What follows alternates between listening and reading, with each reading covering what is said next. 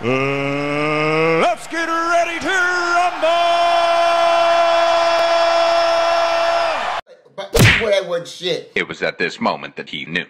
He fucked up. Oh, oh, mm, Lord, oh my gosh. Oh, excuse me. That's a nice blue shirt you have on. Excuse me. I'm gonna go over here for a minute. No, oh God.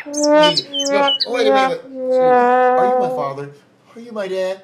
You're not? What the? What? Come on, you got to. Oh no, man, you're not my dad. Let me go. Let me go. Fuck that. Let me. Huh. Let me go.